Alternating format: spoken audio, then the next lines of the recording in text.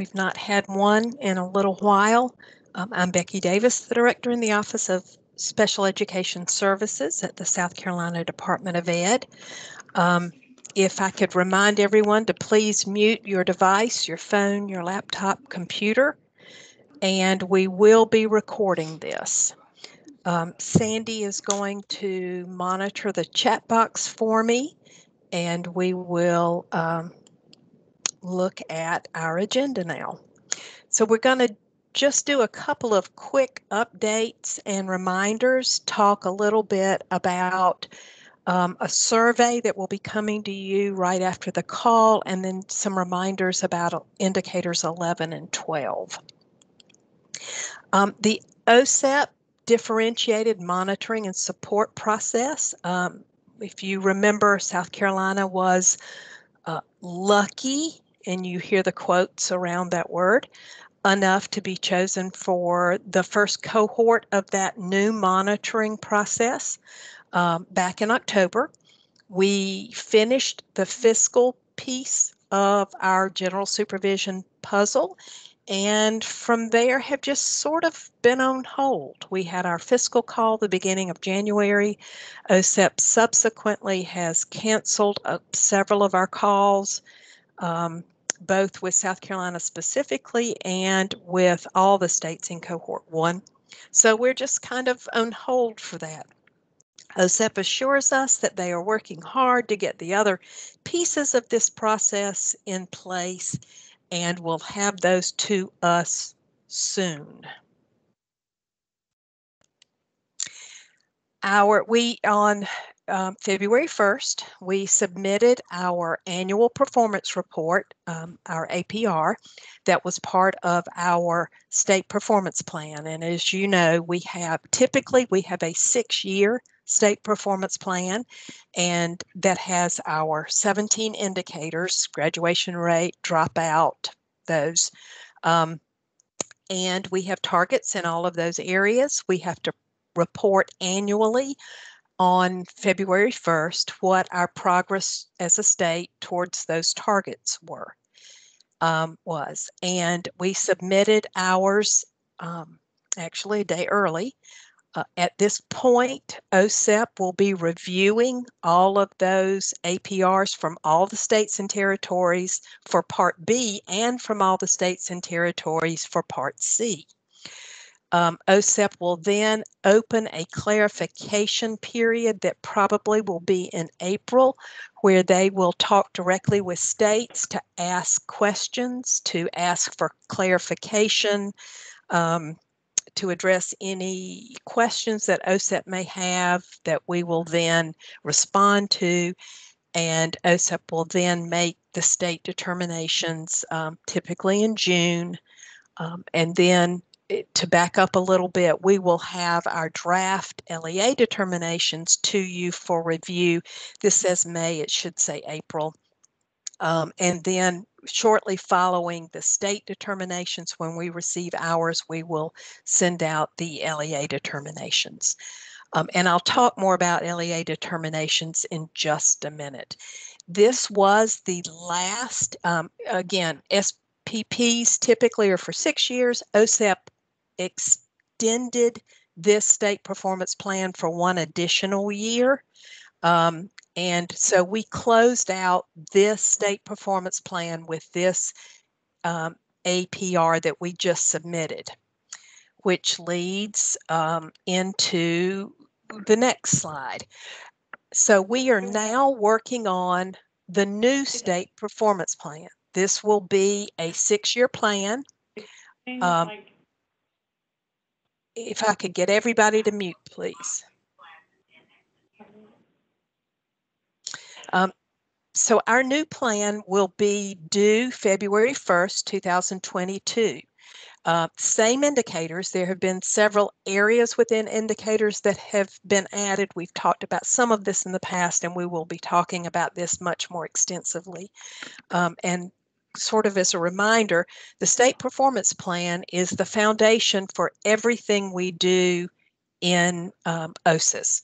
It is our it's our the indicators are organized, or we have organized the indicators around our four focus groups early childhood, social emotional learning, academic, and post secondary outcomes. Um, we will, for this SPP, remember the six years, we will be setting new measurable and rigorous targets for all of the performance indicators. Um, and stakeholder engagement in all of this is going to be crucial. So we are in the process of developing some awareness information presentations for different audiences. So for example, when I talk with you, the LEA directors and coordinators about the state performance plan, you already have a good base of knowledge. Um, so the information that we talk about will be different than uh, when we talk about it with teachers. We want teachers to understand why the state performance plan and the indicators are crucial to what they are doing and how what they are doing impact directly the district's performance and then as a result the state's performance. Um, we also want to talk with parents and community, community members, members about why this is important as well. And again, if I could get everybody to mute. So our conversation that we have with stakeholders, particularly with parents, uh, will be different than the ones we have with, with you. Uh, but we want all groups of stakeholders to understand what the state performance plan is, why it's important to our students, and how we will be working to support districts, to support schools in improving outcomes in all of these areas. We also want to develop uh, or working to develop a quick and efficient way to solicit input from all of the stakeholders on not only the proposed targets, but also the activities that we'll be completing that will lead to uh, achieving these targets. The targets do need to be measurable uh, and rigorous. Um, for most of you who have followed the our annual performance reports over the last several years, you know that we have, as a state, exceeded our target for graduation rate for students with disabilities year after year after year.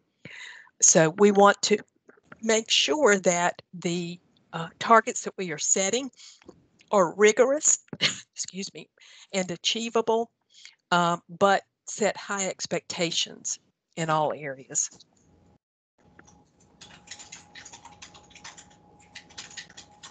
I could get everybody to mute and I am trying to change the slide.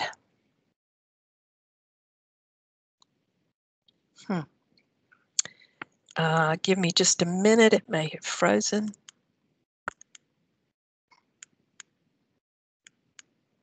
Well, it will go back, but not forward. All right, give me just a minute to figure this out, please.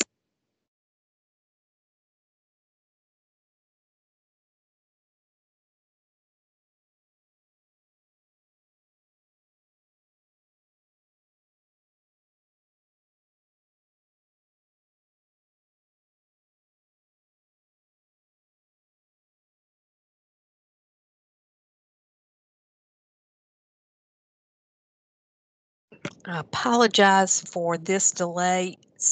Um, you can see the, the circle. What we may need to do is just go through it like this. And again, I apologize for the format that it is smaller.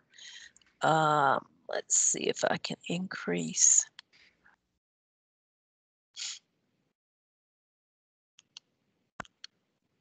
It helps just a little bit. All right, Michelle Williams Young, our fiscal team lead, is going to talk about a couple of fiscal updates at this point.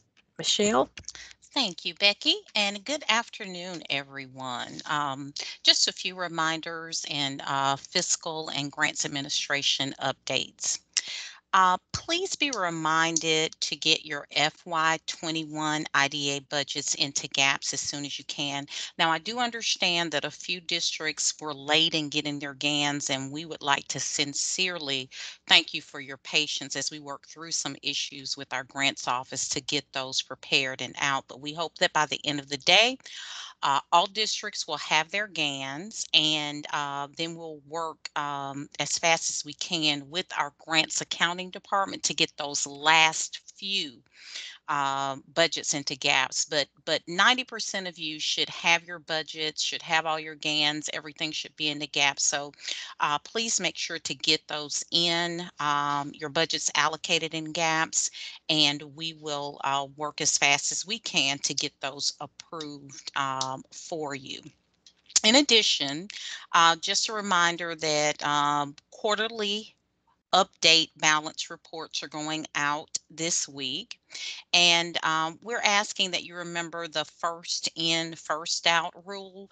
Um, as we prepared these uh, balance reports, we noticed that some districts were very close to uh, having expended all of their FY20 funds, but had a lot of their FY19 and those FY19 supplemental funds still unexpended.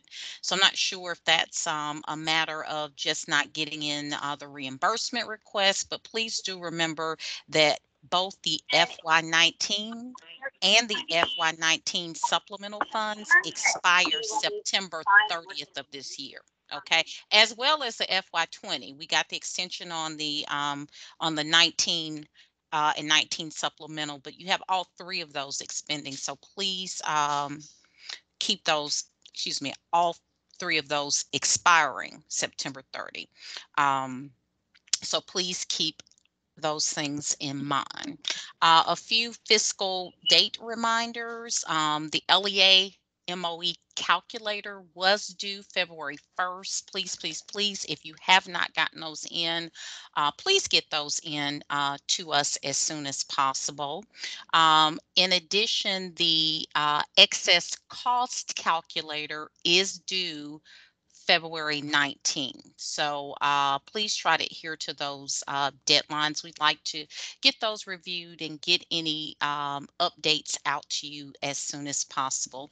Um, in addition, um, the financial aid requests for reimbursements are due February 10th. Now, remember that you can request uh, reimbursements twice per year um, it, or you can only request it once. So uh, the first request can be done in February 10th. Um, and if um, you want to just wait and do all your reimbursements August 5th, uh, you can you can do that. But August 5th is a drop dead deadline. That is a state mandated deadline. So if you miss that, um, you know that's going to be a, a, really really big issue. But again just remember if you want to to get um, those in uh, and request reimbursement for the first half of the year which is pretty much july through the end of the year december then you can get those in by february 10th um, also, the application for reimbursement must include the completed and signed request for reimbursement, which is section two, as well as a current IEP and a current PWN uh, that covers the period for the requested reimbursement. Now, we are trying to put in protocols in place to remind you um, if you have a PWN or IEP or even a contract that expires during this period. But uh, please make note of that. We, we can't process any reimbursements if those things are not current, and everything should be submitted to Talani Edwards. Um, a few other uh, reminders in regards to financial aid. Um, with financial aid, we uh, PWNs and IEPs again must be current and not expired. If an IEP was conducted virtually, please provide and include all participants in the meeting on the IEP as well as on the PWN. So we've received some that did not um, include those participants listed. So please make sure to do that. Um, as well, uh, when placements are made by another agency, IEPs must be completed as soon as possible after the LEA becomes aware of the change in placement. We've been receiving those, um, some of those significantly later uh, than we should. So it's recommended that you have an IEP completed within 10 days of uh, the placement. Um, as well, please be aware that some private placements may have limitations on the type or amount of related service they they uh, are able to provide. However, the IE team must make individual decisions based on the needs of the student. So it is still the LEA's responsibility to make other arrangements when necessary to make sure that you're complying with the IEP requirements. And as usual, uh, please feel free to reach out to me or any of the fiscal and grants management staff uh, with any questions or concerns you have. Thank you.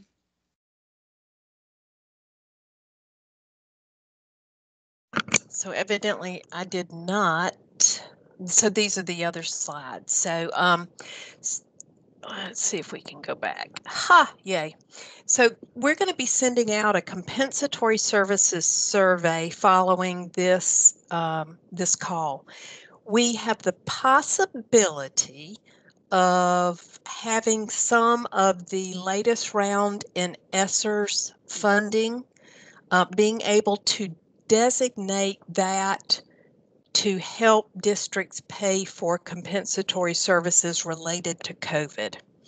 Um, so we're trying to gather preliminary information um, and would really appreciate you responding to this very short survey.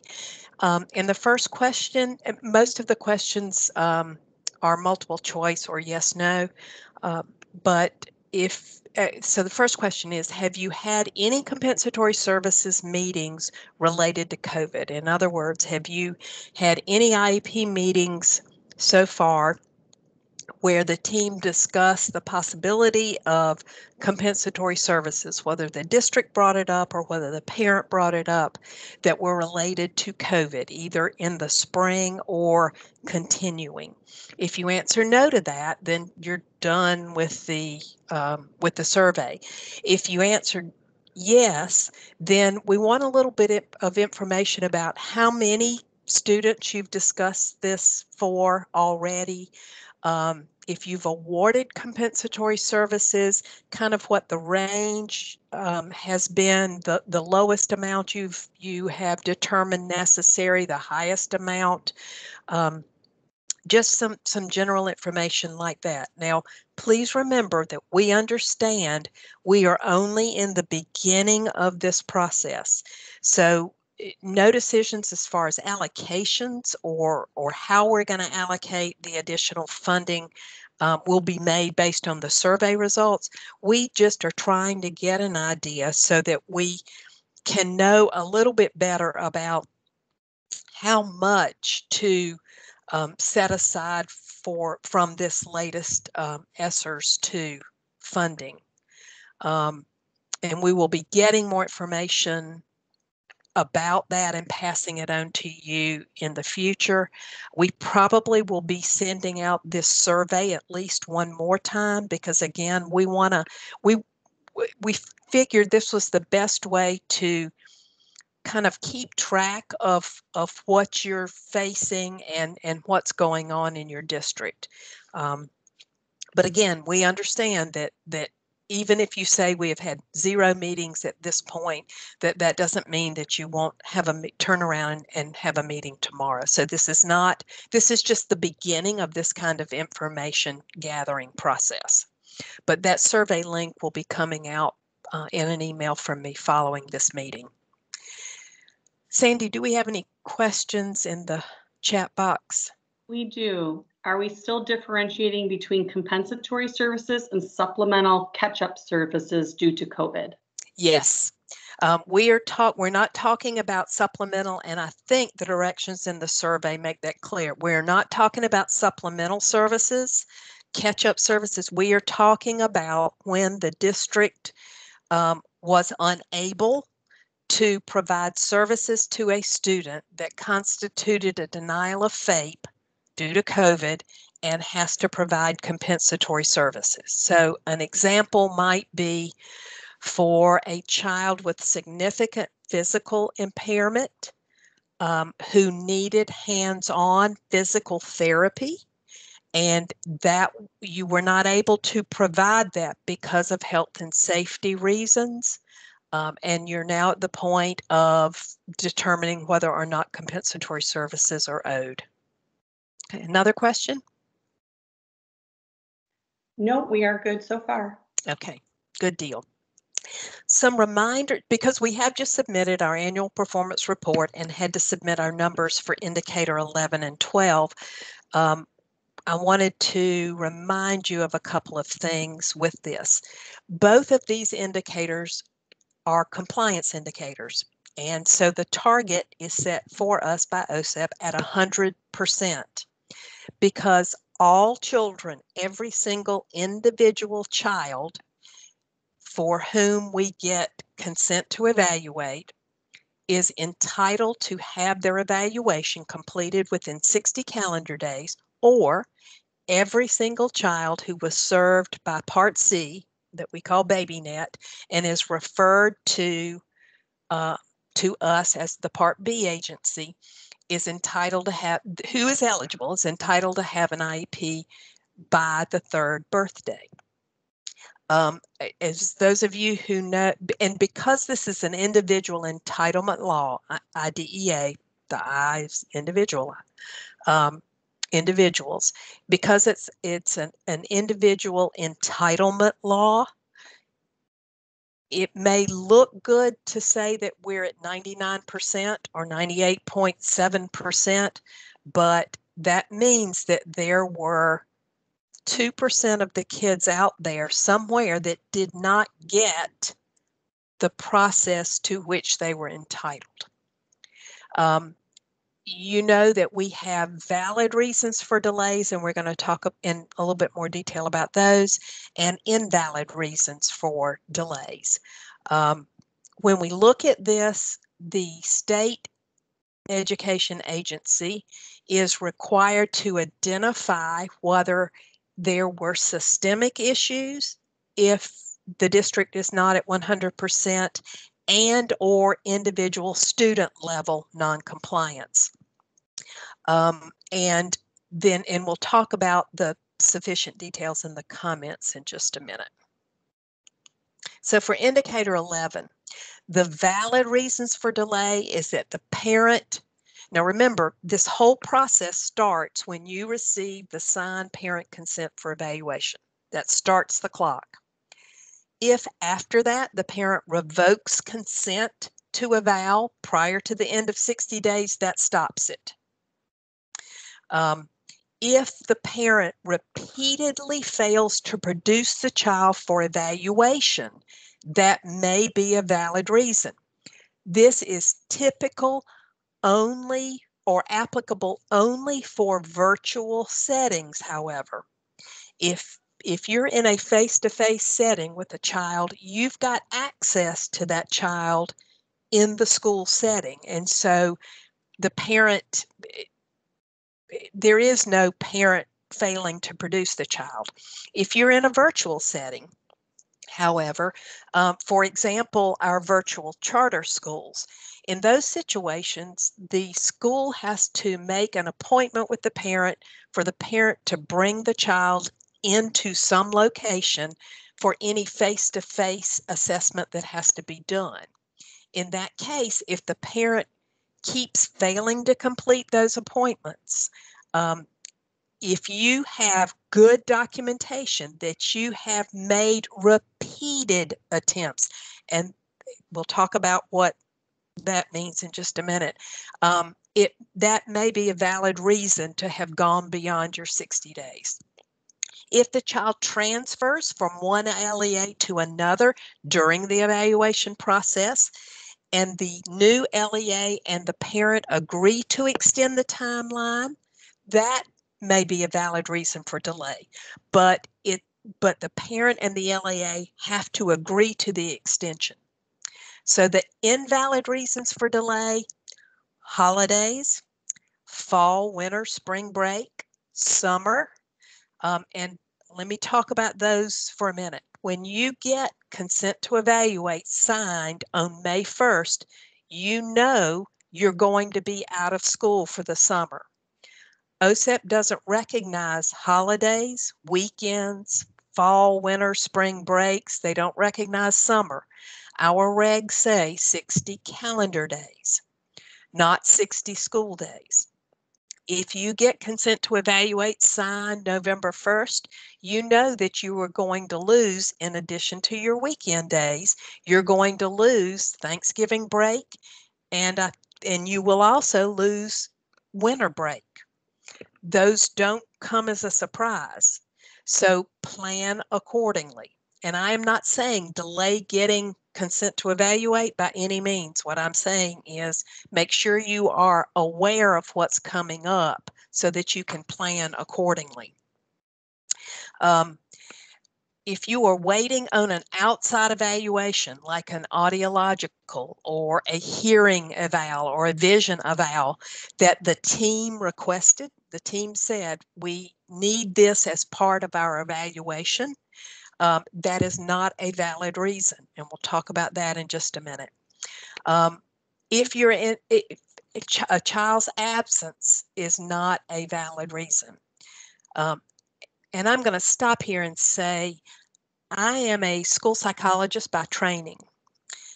I have sympathy for this. Believe me, I do. I have been in the situation where I was juggling six schools with 100 referrals during a school year, 120 referrals, and having to not only keep track of timelines, but get all kids um, assessed.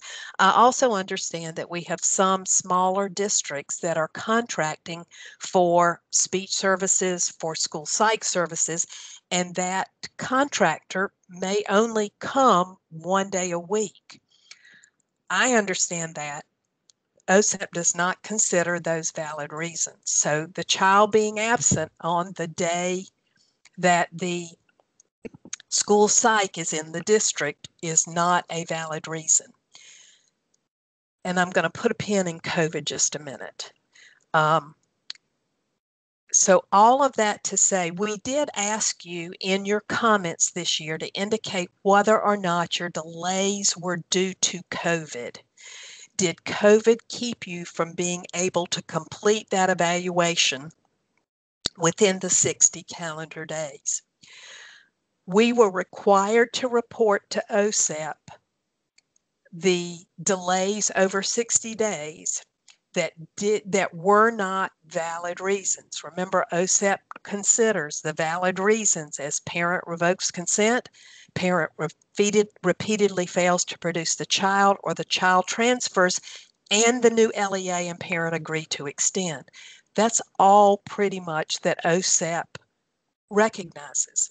So what I'm saying is these other things, holidays, fall, winter breaks, summers, um, the evaluations that you have requested from outside sources, all of those things you need to plan for. And I know we've got some questions, so I, um, let me get through this slide and then we'll stop. Again, if the if you're looking at the parent repeatedly failing to produce the child, you've got to have your documentation of repeated attempts by the district over the course of that 60 days to schedule the appointments.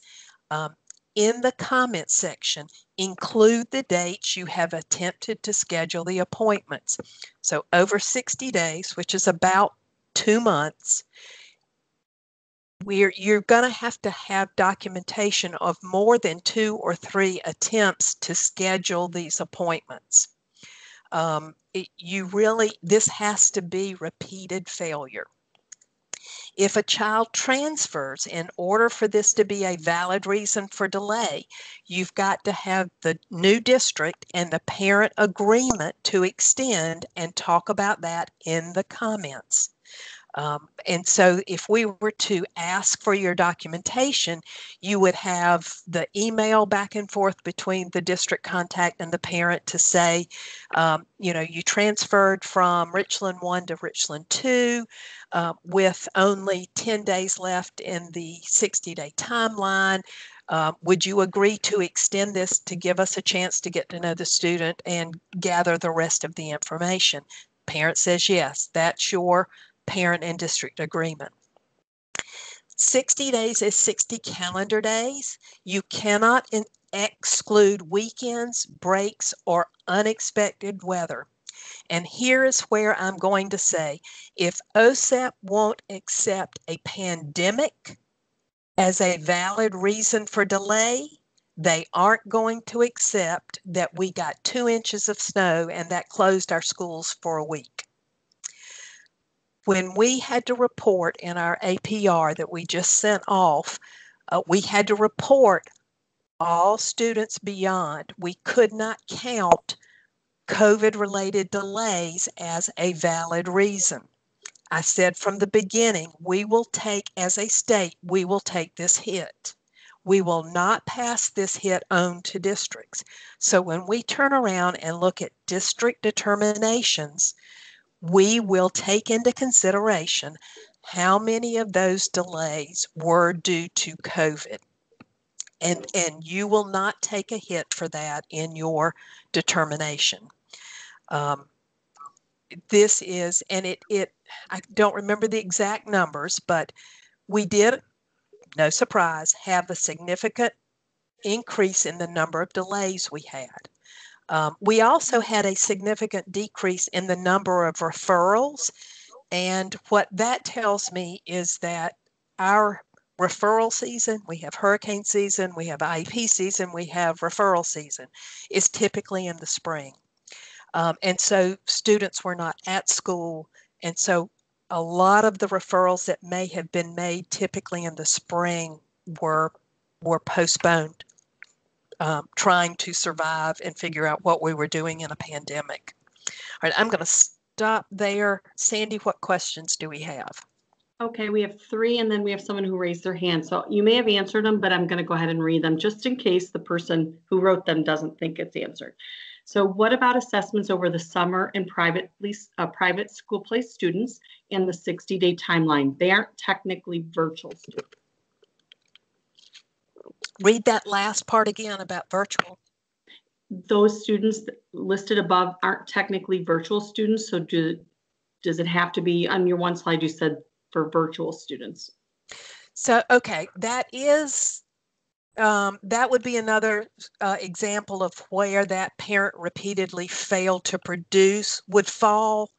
Um, the summer, again, we will take that into consideration, but this is where your comments in the comment section are going to be critical. You've got to give us enough information uh, to for us to to figure out what's going on. So for example, if you get consent to evaluate May 1st and you're gathering some of your information, summer starts, school ends, um, and you're trying to make appointments for the parent to bring the child in to finish the assessment, um, that's where we would be looking for repeated attempts. It might be weekly, it might be more than weekly of when you're trying to get this done.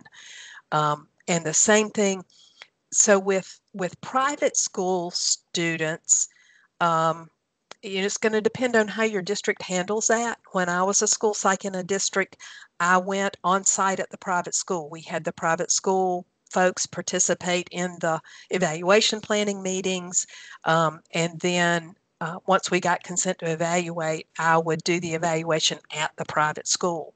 Uh, but if the way you do it is to have the parents bring the student to a location, um, again, we will be looking for repeated attempts. Okay, what else, Sandy? Um, does this failure to produce the child apply to districts that are face-to-face but also hybrid and virtual? They've had that issue when the parent has the child registered as hybrid, but then continues to skip the testing appointment. So my question would be if the child is in a hybrid setting, theoretically, and again, I know, and remember, folks, this is brand new to everybody. Um, so theoretically, in a hybrid setting, you would have that child face to face half of those 60 days. Now, again, I know we throw out weekends, but theoretically, you've got that child in a face to face setting half of that time. Um, so it would be a little more difficult to justify repeated failure to produce in that situation than it would if the child is completely virtual. And then the last question is, how should we proceed with students who are experiencing multiple periods of quarantine? During an, during the evaluation process, I'm assuming, Yes. um, again, documentation is going to be critical and that, co- that comments box is your friend. Um, I'll stop short of saying you can't put too much information in that um, because I know that there can be too much information, but the the comments box is where you will explain that and you'll say, you know, we'll see that consent to evaluate was obtained October 1st, and then you document student quarantine for two weeks from whatever to whatever. Um, student back in school three days, quarantined again from whatever to whatever. Be specific about the quarantine. Um, don't just say student was quarantined. Put the dates in there that the student and and that again, we're going to have to take the hit as a state for that unless OSEP looks at all of these annual performance reports from the states and says, okay, we'll we'll look at doing this a little differently. Um, we know we're going to take the hit for that as a state. We will not pass that hit on down to the district for COVID related issues. But you've got to be specific that it is a COVID related issue. And um, and one of the things that we'll be looking for down the road is what have you, how have you tried to accommodate for that? Um, some of the things that, that state directors have talked with OSEP about is that, you know, we reached out to some of the testing companies and districts did to say, can this particular assessment be administered virtually? Um, are you trying to come up with with a method to be able to administer the assessment virtually? Did you explore as a district other um, assessments that could be administered virtually that would give you the same information. So those are some of the things that we may need to provide to OSEP in the future. Sandy, other questions? Yes, Rita had her hand raised, so I don't know if Rita wants to go ahead and unmute and ask her question.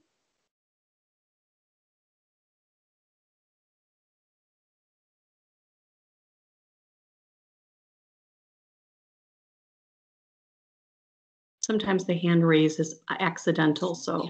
Okay. we're- Um, we're good. All right. So that's indicator 11. Um, again, if OSEP won't accept that a pandemic, a global pandemic that is almost a year long at this point, as a valid reason for a delay, they're not going to care that little bitty Blythewood got two inches of snow and it closed everything for a whole week. Um, again, holidays, breaks, um, those kinds of things don't don't count. Now, when we had our coastal districts involved with the, the hurricane and the, the back-to-back issues that required, again, we took the hit as a state. We won't pass that kind of thing along to you as a district. All right. Again, if the evaluation team asks for information or needs information, then it's the district's responsibility to obtain that information at no cost to the parent. This includes vision, hearing, audiological, occupational therapy, any other type of assessment or evaluation that the district is asking for as part of the evaluation process or the completion of the evaluation process is dependent upon is up to the district not only to obtain that at no cost to the parent, but to obtain it in within the 60 days. Um, that may mean working with the parent to schedule the appointment if it's with a, a physician, provide transportation to and from the appointment or even paying for the appointment. Because remember, um, all of the services under IDEA, including evaluation, are at no cost to the parent. Um, this indicator measures the time the signed consent to eval is received until the evaluation is completed, not until eligibility is determined. Um, we had some districts that said we finished the evaluation on time, but we didn't determine eligibility. And the date they closed the evaluation was date of eligibility. So you got gigged for not completing the evaluation in a timely manner. Remember, the evaluation process is completed when the team has gathered all, every bit of the information that the team has requested. Administering assessments, scoring assessments, obtaining and scoring rating scales, whatever it is that the team has requested, you've done all of that and you've scored it. That closes the evaluation. Then you determine eligibility. Now, some folks have that all in one, and that's fine. But your obligation in this indicator is to complete the evaluation within 60 days, not to determine eligibility within 60 days. That's the next step that happens. Before I go on to 12, Sandy, other questions? Yes. Um, one of them was, hold on one second, I'll have to scroll up here. Um, what about situations where a school district did not complete an eval within 60 calendar days because the parent refused to sign a COVID waiver to waive liability? That again, that's COVID related. Um, it as far as reporting to OSEP, that is a non-valid reason. Um, there, and that would be something, there's been lots of discussions about the legality of COVID waivers or requiring parents or school staff to sign those. Um, if we reach a point where OSEP is considering allowing for COVID related delays, that would be something that we'll need to discuss with our Office of General Counsel to see about the legality of that. Um, you know, again, there was lots in the news. I'm sure everybody's um, ha- has seen the the news stories about uh, some of the districts that required or tried to require that kind of, of waiver or liability form signed. Um, but again, right now, that's not a valid reason. Um, if we reach a point in discussions with OSEP that they may consider COVID related reasons, then we'll talk with that with um, our office with Barbara Drayton and our Office of General Counsel about it. Sandy? Yeah, one more. It was basic. It's a comment and a question. Um, should South Carolina consider school days instead of calendar days like some other states? Um, we. So here's the issue with that. We could. Mm, we have thought about that. The problem is OSEP has been very clear time and again that they do not allow for breaks. I know that some states have in their state regulations that it's excluding summer break. OSEP's been very clear to say that's not legal. Um, I can't answer the question as to how that continues to be with states. It may be that OSEP just hasn't noticed that for those particular states, but OSEP has been very clear that that's not a valid reason. Um, we could go with uh, 60, uh, well, with a time, whether it's 60 or 45 or whatever it is, we could go with business days, which would include summer. It would in, it wouldn't necessarily include all holidays, um, but that might give district, and, but it would exclude weekends. So that is something that we can look at. Um, as, as most of you know, if the regs say 60 days, if it's not otherwise specified, it um, it's intended to be calendar days, but that is something that we could consider. Anything else? No, ma'am. Okay, indicator C is somewhat similar, and remember this is the requirement that all student children who are served by Part C, our BabyNet, and referred to the, the district, Part B, um, are evaluated, determined eligible, and have an IEP in place by their third birthday. This, and there's a sort of a, a misleading um, print in this slide. Um, the 60 days does not really apply here. The, the defining point rather than the 60th day is the child's third birthday. So with this, um, you know that, that our Part C counterparts are supposed to make the referral, the transition meeting um, 90 days before the child's third birthday and then you pick up and go from there. You get cons- you have your evaluation planning meeting, your consent for evaluation, um, and you proceed. In this one, this would be a situation because we don't have mandatory attendance for, we don't even have programs for three year olds uh, or two and a half year olds in the public setting. Um, so you don't have access to the child like you would a school age child in a face to face setting. So in this situation, if the parent revokes consent during that time prior to third birthday, and I'll change this before we post it, um, or repeatedly fails to produce the child for the evaluation. Again, repeated, you've got to have documentation that you are making repeated attempts to schedule that evaluation or those appointments. Or if Part C sends you the referral uh, after the 90 days. Um, and, and so Part C has to report, they have an indicator that talks about this same transition. So if they are late in sending a referral, it's going to reflect on the Part C on BabyNet rather than on us. So those are the valid reasons. Invalid reasons again, holidays, fall, winter break, summer, doesn't matter if the child's birthday, if the child turns three in July there has to be an IEP in place by the child's third birthday. Now, this doesn't mean services have to start then. If the child has a late spring birthday or a summer birthday, if the IEP team determines that extended school year services are not needed, then the IEP start date could be the beginning of school.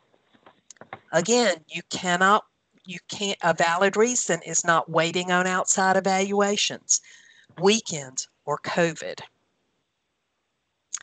Um, so the with the repeated failure of the parent to produce, you've got to have that documentation. Include those dates in the comment section.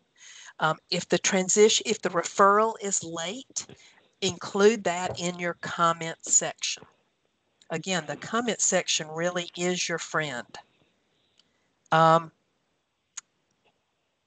Sandy, any questions about indicator 12? No, ma'am. Okay. So let's talk about correction of noncompliance.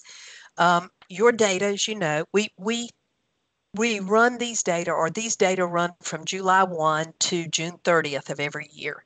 Your data are due for both of these indicators toward the end of July. Our staff is going to verify and begin to analyze these data um, and start to look at whether these findings are systemic and or individual student level. Um, this is where we start looking at the comments. Now, if something's unclear, we will come back and ask questions, but the more information and the clearer your information can be in the comment section, the quicker this will go and the easier it will be. Um, so there are two kinds of findings that might happen. One would be systemic, and that would be something to do with your policies, procedures, or practices. Uh, do you have in your policy that you exclude weekends? Um, do you are your policies and your procedures correct but you've got one particular person who continues to go over time and again for whatever reason.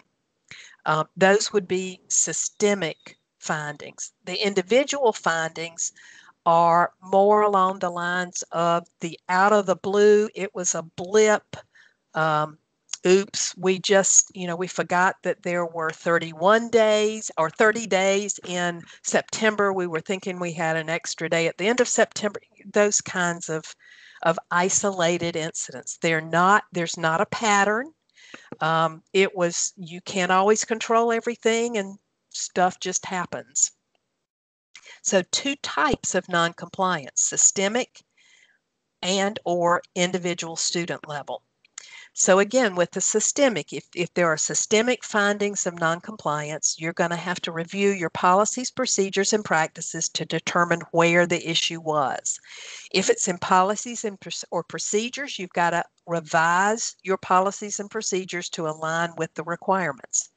If it's in your practices, you've got to put a process in place to correct those practices. Train the personnel, put checkpoints in place. Um, and once all of that has been done, we'll review uh, your correction documentation to verify that you have corrected the systemic issue and are now, therefore, demonstrating 100% compliance with this at the systems level. Remember that all findings of noncompliance have to be corrected as soon as possible, but in no case later than one year at the individual student level, what this means is you're going to have to have an IEP meeting to determine if the delay was a denial of FAPE. If it was, the team has to determine how much compensatory services are owed, develop a plan, and deliver those compensatory services. We'll review that information and then verify the correction. Um, so that's, uh, and I think the next slide is going to talk about that. Yes. So with your comment sections, make sure that it passes the proverbial greeter at Walmart test. Are your comments clear enough that the greeter at Walmart could read them and figure out what you're talking about? Um, for the 2021 school year, and that's what this is our current school year, OSEP um, considers that the FY20 reporting year.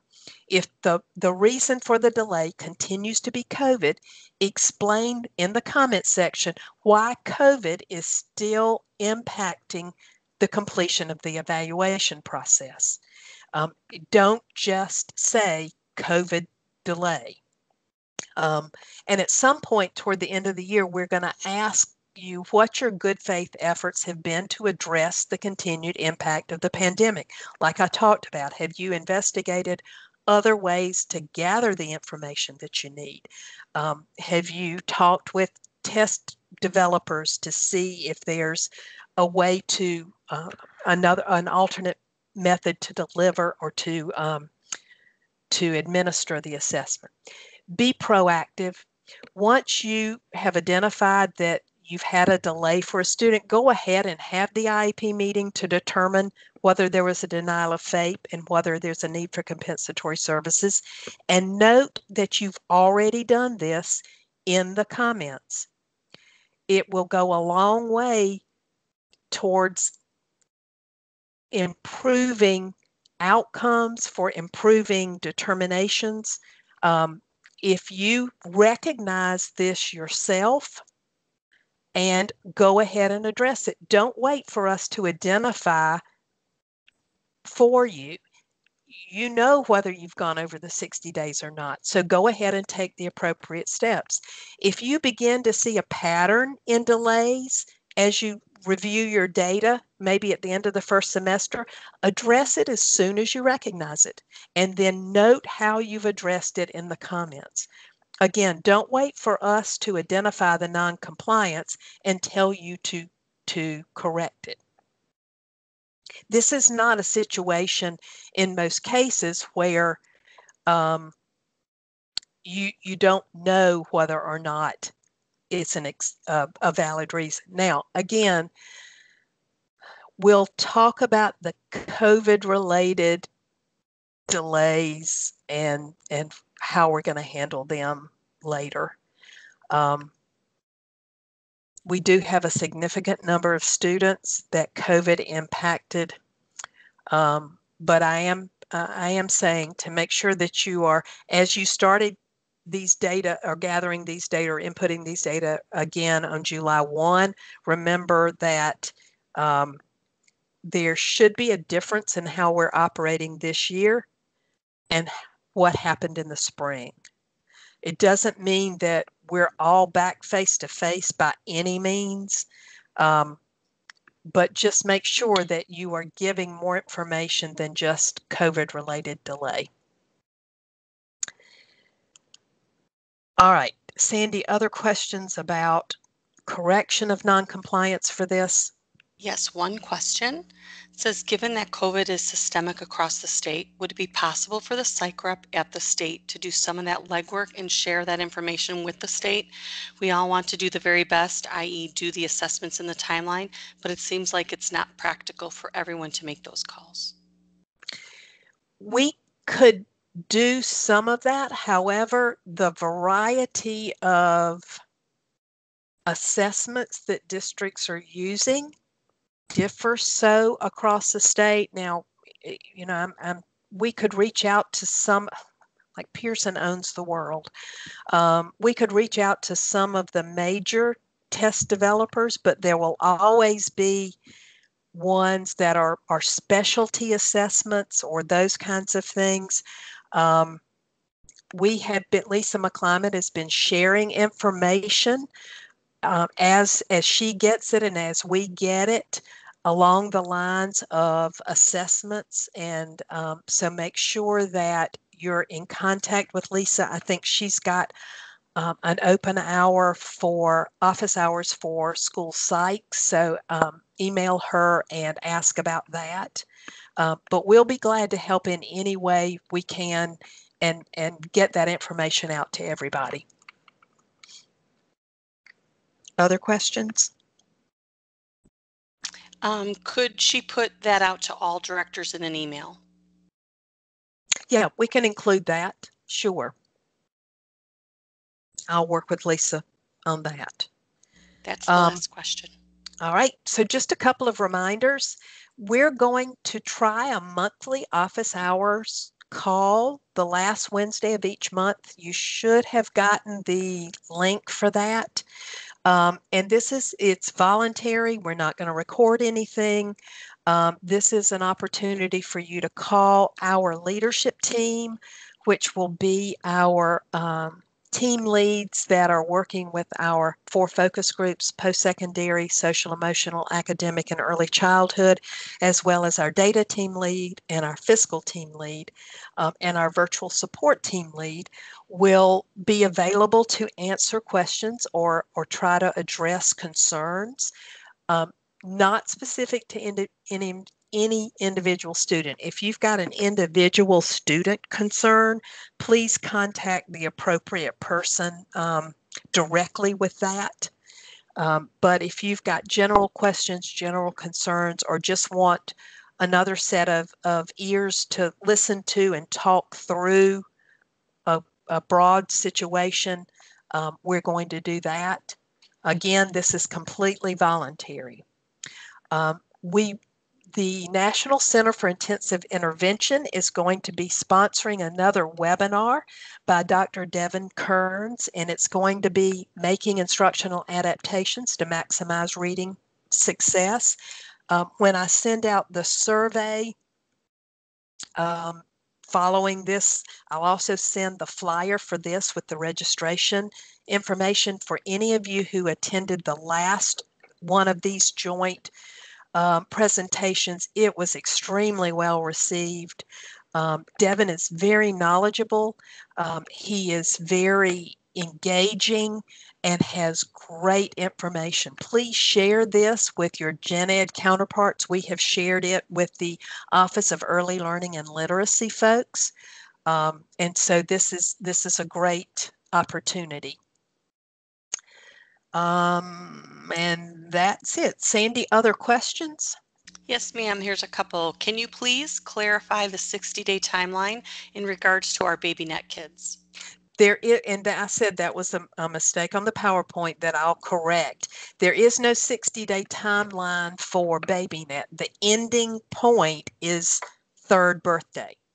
So let's say the child turns three on July 1 and whatever, if you back up 90 days and you have your transition meeting for C to B in a timely fashion, and for whatever reason you wait until June 1st to get parent consent to evaluate, then you only have 30 days to evaluate because the ending point is third birthday. And I'll change that on that slide. I just, I tried to save time and copy and paste from indicator 11. So it's not 60, just like with reeval, there is no 60 day timeline for reeval. Um, for reeval, it's either on or before the three year date, or if it's an out of cycle reeval that's been requested, um, you have requested it or somebody has requested that reeval because there are concerns that the IEP is not appropriate in some way.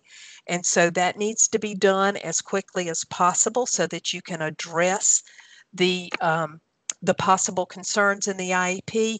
And whatever time that takes, you need to be comfortable defending that amount of time on a due, in, in a due process hearing. In other words, if parent files due process to say it took you 90 days to get this reeval completed and we made major changes as a result of it in the IEP. Could you defend why it took that long to get the reeval done, knowing that there may have been concerns in the IEP? So 60 day time, sorry, initial timeline for eligibility and IEP in place is the child's third birthday. And and so this this indicator ends with an IEP being developed. So you get consent to evaluate, you conduct the evaluation, you determine eligibility, and if the child's eligible, you develop an IEP. That development of the IEP by third birthday is what has to stop that timeline. For indicator 11 in school age children, then the or four year old, four through 21, then the stopping is the completion of the evaluation not eligibility determination and not um, an IEP in place.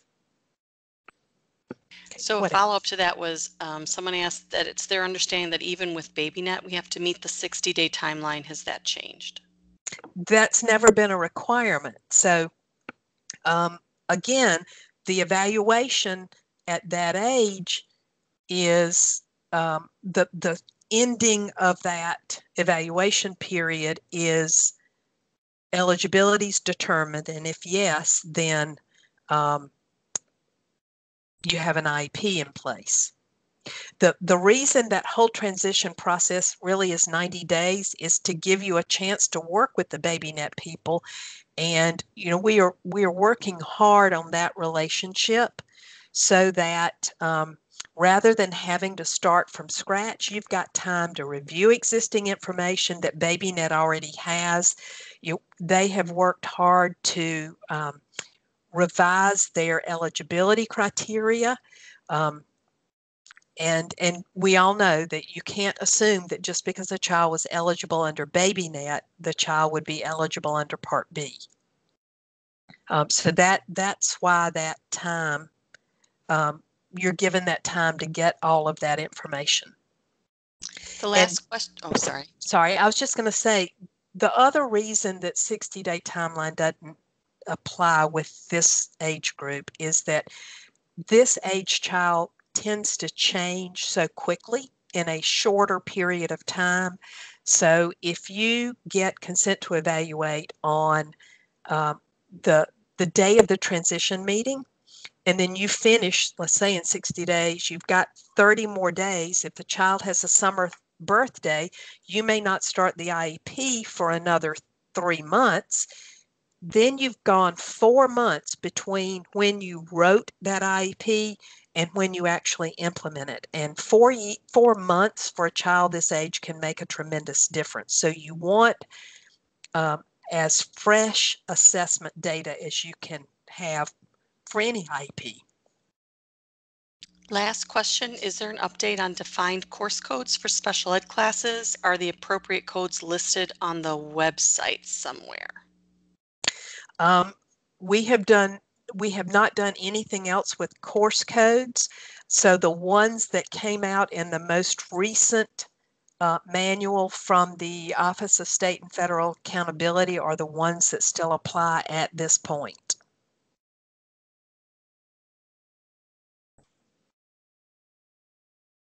There are no other questions. All right, I appreciate everybody's time. I'm sorry we've gone over a little bit. Um, we will, the office hours, remember, uh, if you've got questions, and we will get this recording and PowerPoint posted as quickly as possible. Everybody, please stay safe and stay healthy.